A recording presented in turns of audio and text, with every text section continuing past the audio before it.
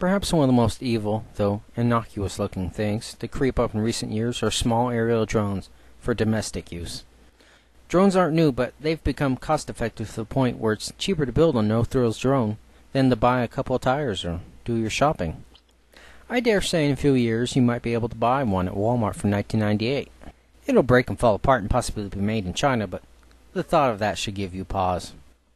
This is one of those inventions where the perversion of use is of far greater consequence than productive use.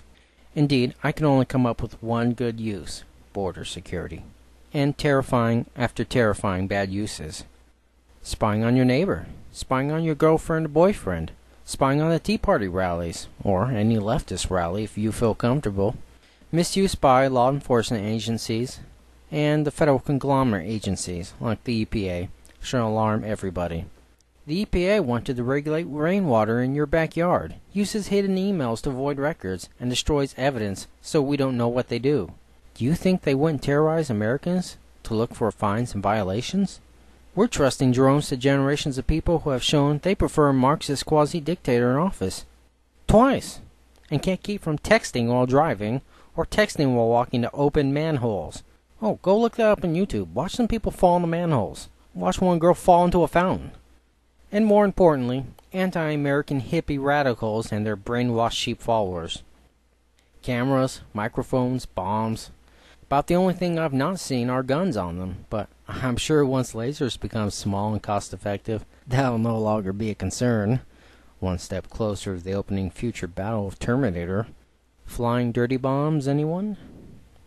So, what non governmental business or organization will be the first to bastardize this technology? Look, up in the sky. It's a bird. It's a plane. No, it's a PETA drone. The flying technology, not Ingrid Newkirk. Yes, PETA, the radical animals rights quasi terrorist organization, has plans to use drones, specifically to spy on hunters who they claim, quote, terrorize animals and break game laws.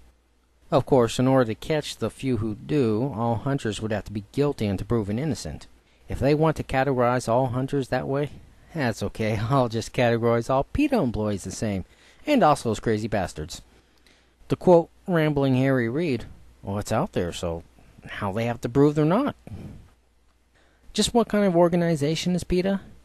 If you're thinking animal shelter, try instead slaughterhouse. Thanks to diligent people such as the Center for Consumer Freedom Director Rick Berman, not the much hated Ron Jones firing Trek ruining Rick Berman, and Nathan Winograd, we now have disgusting, sickening, sleep losing information on what PETA really does. A more proper name for PETA may be people who eradicate the animals. Since 1998, PETA has murdered, needlessly, over 29,000 cats and dogs, the majority of which were healthy and even newborns in some instances. I know what you're thinking. All no kill shelters euthanize animals and make space and save money. This is not the case for PETA, as you will see. The Virginia Department of Agriculture and Consumer Services requires shelters to keep records of what they do, like how many animals they take in and how many they euthanize. Through them, Rick Berman gathered disturbing facts. PETA murders the majority of animals and barely adopts any. Records filed by PETA with VDACS since 1998 show a sample. 2010 2,345 received, 63 of those transferred, 44 adopted, and, as radio show host Mark Levin accurately called it, a 93.8% kill rate. Hat tip to Mark Levin for getting me onto this. 2009 2,366 received, 31 transferred, 8 adopted, 97.3% kill rate. 2008 2,216 received, 34 transferred, 7 adopted, 95.8% kill rate. 2007 1,997 received, 35 transferred, 17 adopted, 90.9% kill rate.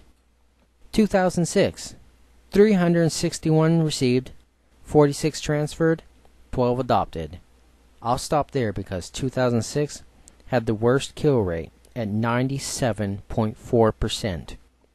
That's about over 100 killed every month. an exciting experience for PETA founder Ingrid Newkirk, whom said she would go to work early just to kill more, also saying, quote, I must have killed a thousand of them, sometimes dozens per day. But it's worse than that, because if you've been paying attention, I mentioned Virginia records. That's right. Those 2,900 plus murdered cats and dogs were done at one of PETA's locations in Norfolk. PETA has locations in other cities, including Washington, New York City, Los Angeles, and Chicago. Basically, all your liberal breeding grounds. Oh, and London. Based on the definition of shelter in Virginia, the kill rates make PETA ineligible to follow such, but they argued an obscure law and they ended up letting them retain the status. 84% of the cats and dogs in the Norfolk location received were killed within 24 hours. In fact, the Norfolk location was literally going to homes, getting the pets, telling the owners they had somebody lined up to adopt them, then murdering them in the van before reaching the slaughterhouse they call a shelter.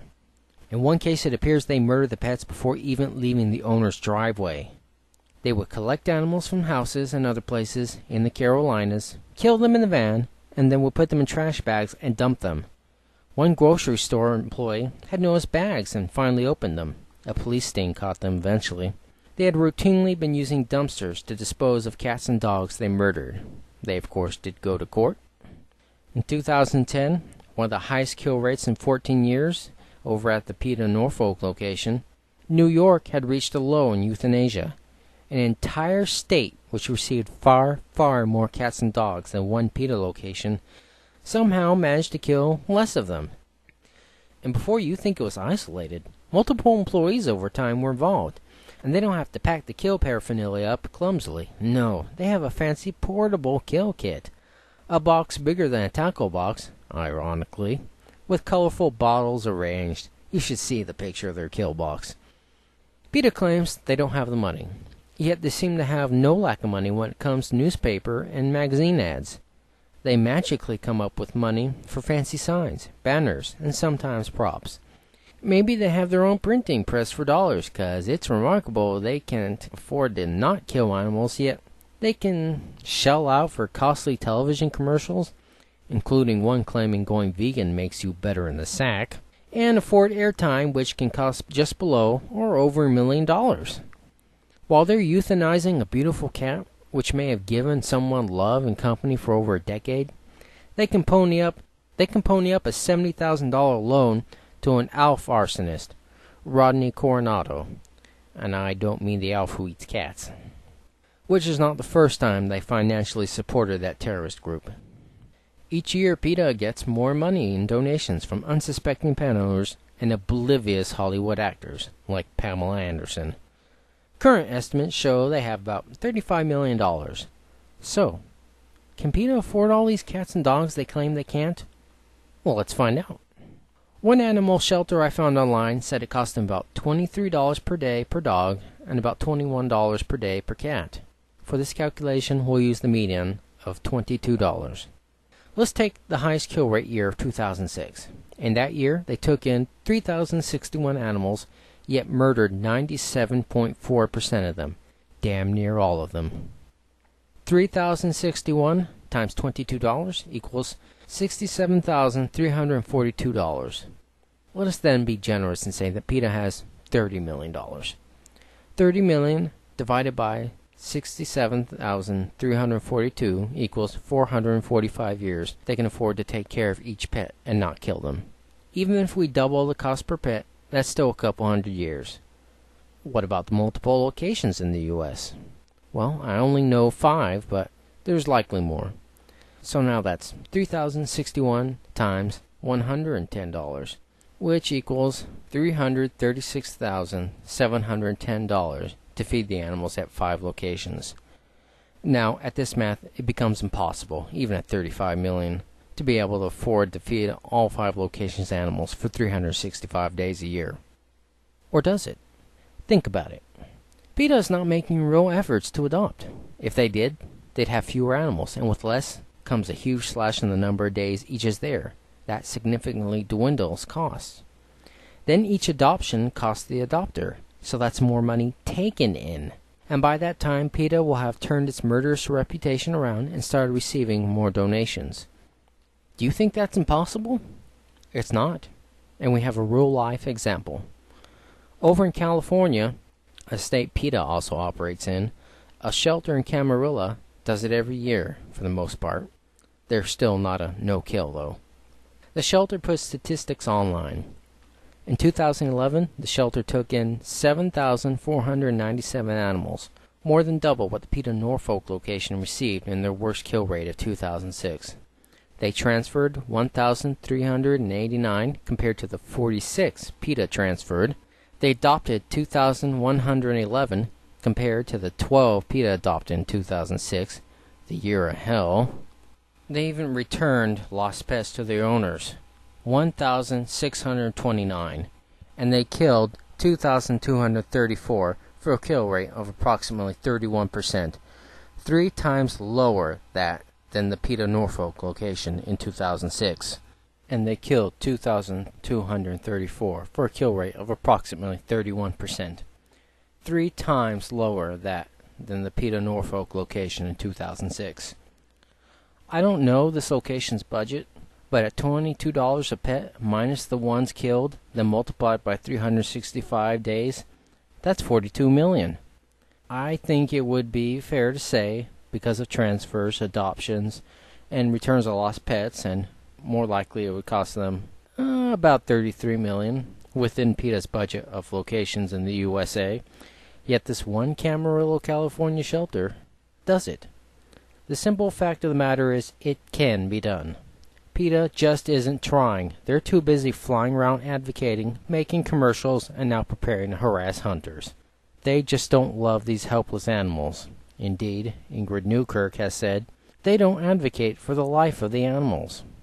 If they did, their kill rate would be 31% or lower, and their adoption rate would be 280 times that of what it was, for example, in 2006. And what everybody is overlooking, PETA doesn't have to take in more animals than they can afford to care for. This is a choice they make. They choose to create a situation where they are overburdened and murder animals to lighten their load.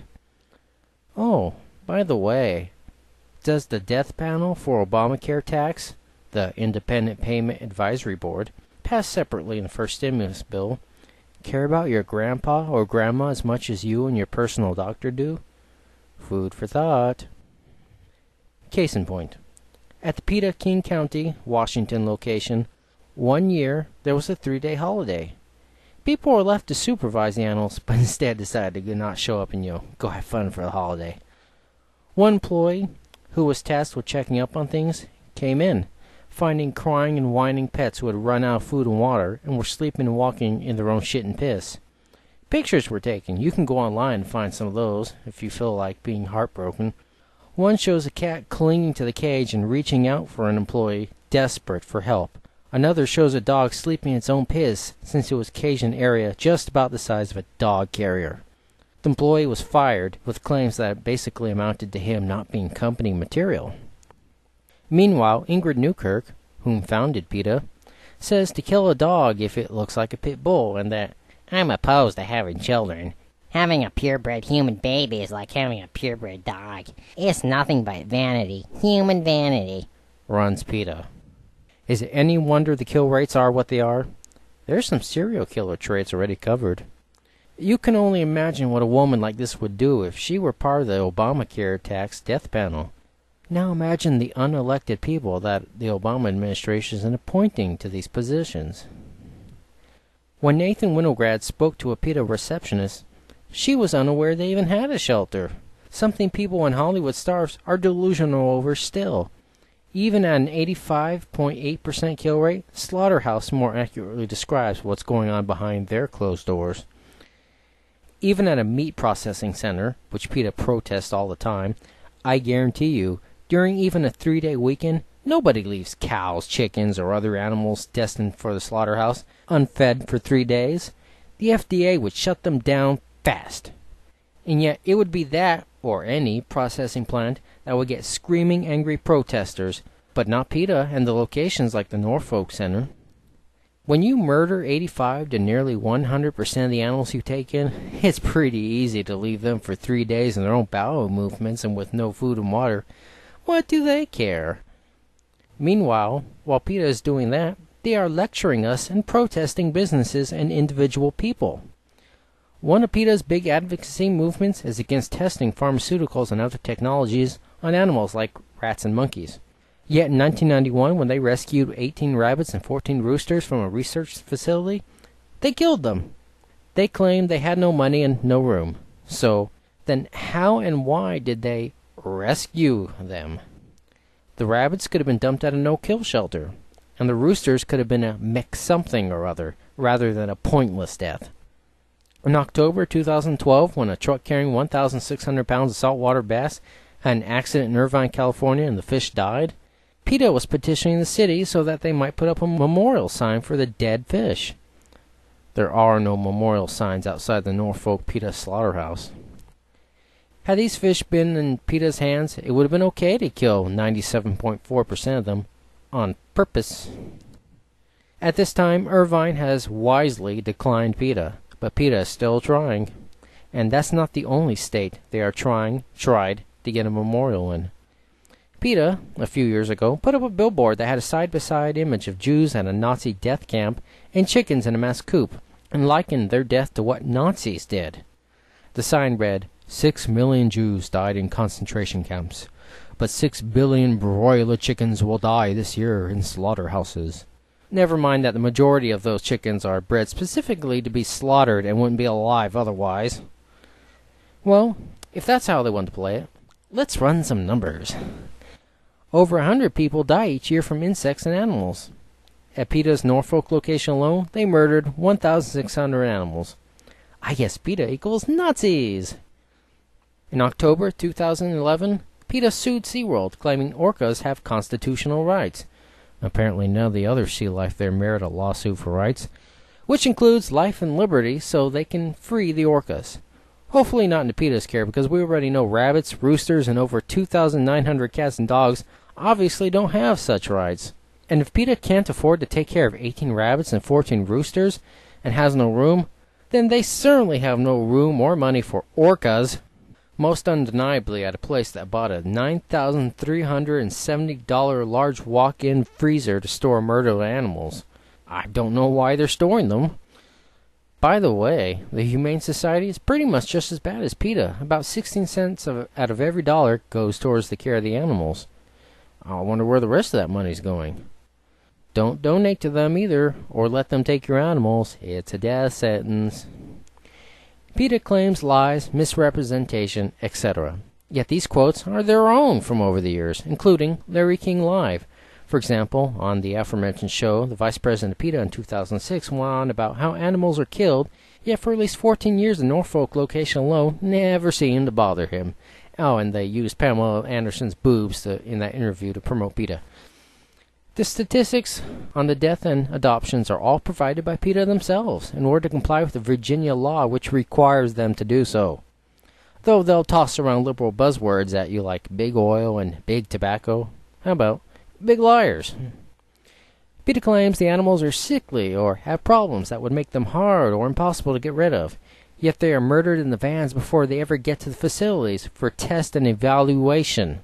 And Camarillo has already shown by their numbers there simply just aren't that many cats and dogs that need to be put down.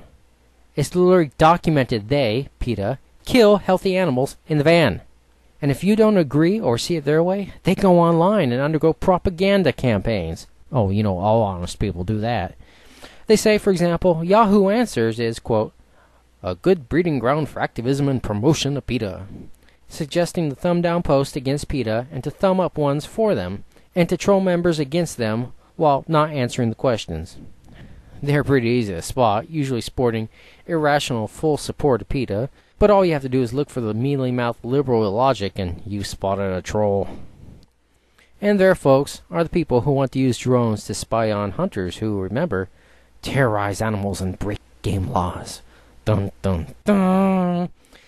It's okay to terrorize animals and break laws at PETA locations.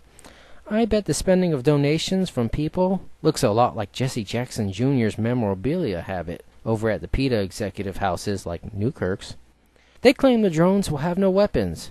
Well, these are the same people who say they have adoptions lined up, then kill animals in their Death Star vans before reaching home base. Do you trust them? I wouldn't even let them watch a rock. If PETA gets to use drones to spy on hunters, then I want to use drones to spy on PETA. Drones flying in every shelter. One following every death van until it reaches the PETA slaughterhouse to make sure the animals come out alive. I want to find out what's happening in Ingrid Newkirk's house. Let's put some in there. The Humane Society, too, whom also need a public audit of donations. You know, PETA isn't breaking new ground, despite what I said earlier. The animal activist group, Shark, showing animals respect and kindness, already uses drones. One can only hope on PETA, though I haven't researched to find out if Shark is as bad as PETA. This doesn't end here.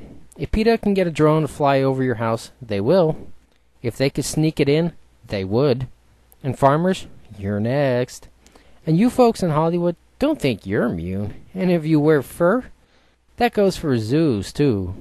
Fines, jail time, setups, and lawsuits are coming. In order to use such technology responsibly, one must not be bereft of morality and heart. No good will ever come from this. When a pizza delivery place wanted to use drones to deliver pizzas, they were denied. When Shark did, they got permission. You can see where this is going for PETA. Normally, I might close with some parting words, but I think this time I shall let somebody else speak for me. To quote actress Jennifer Lawrence, screw PETA.